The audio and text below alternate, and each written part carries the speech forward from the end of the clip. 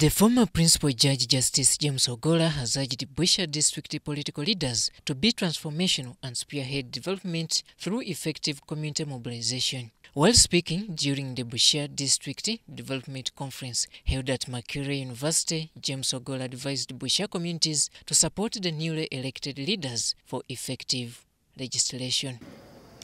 We must tap into the export promotion zone at Masaf. That one is a godsend. When it takes off, it'll be like, what is this thing at uh, industrial area? The uh, Namanve. That's my understanding of the thing, that it will be a mini Namanve. And can you imagine Namanve coming to Busia?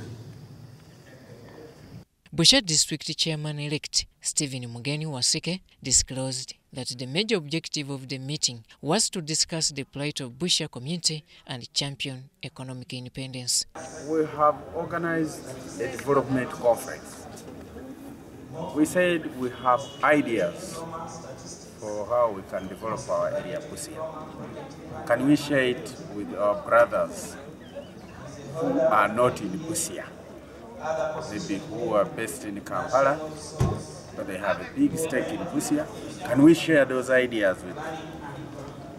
Can we invite them to come and be part and parcel of the development of our area in Busia?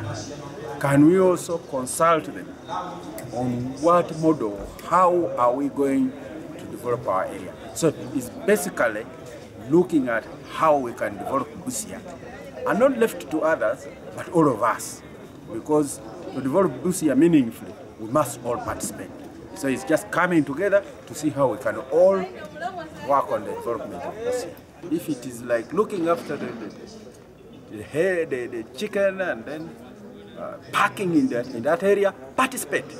If it's about maize, uh, adding value, participate in the production of maize. So, how can we participate and also take advantage of these opportunities? Samia Bugwe South Member of Parliament elect Godfrey Were Odero said the conference was aimed at creating awareness and explore potential areas where Busha community can partner with government. I want also to take this opportunity for today's conference. Uh, worker has already started this indeed is a, a, new beginning for the people of Busha. I want to echo the LC5 elect for having come up with this idea, plus all the elected leaders of Busia district, so that we can come together for the purpose of service delivery in our district. The State Minister for East African Affairs, also a son from the district, Julius Maganda Wandera, said the government is providing an enabling environment for the private sector and advised the Busia community to take advantage of the East African integration. Has given a portfolio of a single tourism uh, uh, window. The single tourism window allows a person who is visiting East Africa as a tourist to pay, even if he pays from Tanzania, Uganda also benefits as much as that person would wish to visit Uganda. He doesn't have to come again in Uganda and pay. Now, for you, the benefits that you will have as a person who has already a hotel which is established and it would attract uh, tourists is to put up an infrastructure of that nature so that people come and sleep, people come and eat, and even have fun around the, the, the district anyway. So these are some of the facilities that we should be talking of. How much prepared are we as a district? Do we have that avenue? Does the district prepared even where it could, in case there's an investor coming out, to seek for land to put up a very big hotel? Does the district have that facility? Maybe under the, the Department of Lands. We have land as a district? Does the district, as we people of Busia, as a community, have we attempted to come together and say, yes, we could do this if we come together?